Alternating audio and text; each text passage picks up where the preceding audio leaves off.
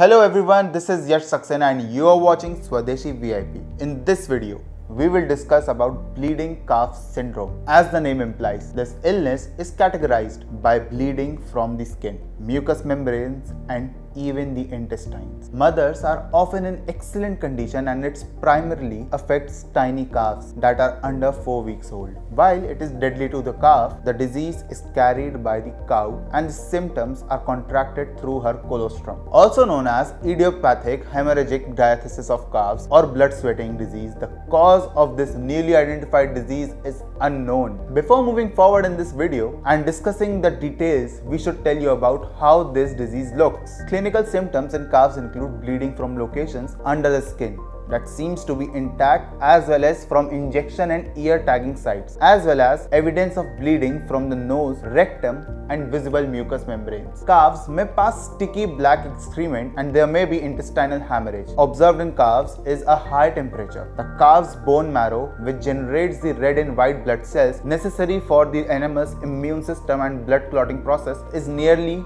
ended which results in the symptoms. Although it is unclear if the harm is happening in the womb or just after delivery. It appears to be happening at or right around the moment of birth. The reason is yet unknown. Investigations are being conducted in several different lines including management and environmental aspects of the impacted farms are checked. Even if there isn't any proof of any infectious cause right now, it can't be completely ruled out either. Being a cattle owner, the first question that must be coming to your mind is if this disease is curable or if not, what the death rate is. Only a few calves have been affected in any one herd, but once affected, they usually die. The mortality rate of calves with disease is about 95%. There are reports, mainly anecdotal, of some affected calves making a full recovery. Only calves less than 4 weeks old are affected. The mothers of affected calves are usually perfectly healthy. Till date, there is no such proper treatment available for this syndrome, but vets do give the drugs containing vitamin K and tranexamic acid. These helps in causing clots to reduce blood loss in calves. We can use